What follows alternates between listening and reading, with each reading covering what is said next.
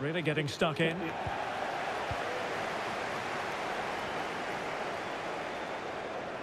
Well, he's got past his man. And crossed in there. Oh, That's a beautiful goal. I need to say this one more time. Embarrassing. Embarrassing.